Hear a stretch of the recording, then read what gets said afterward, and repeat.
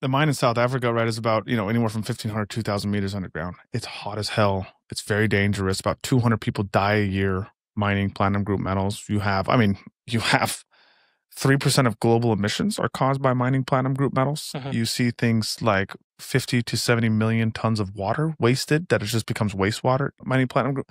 The shit is not nice. It's Mhm. not a great thing to do, but the option you have right now is do you want to be a caveman or do you want to have technology? Right. And like I'm talking to you on this mic, like we clearly have chosen technology. I'm not going to pretend like we're we're better than everybody else in this way. Like we've chosen to say, yeah, it's actually acceptable that we pollute our planet in this way and cause this water pollution, and, and people are going to die, so that we can have the technology we have, and we make that decision across all these other mediums that we look at in life.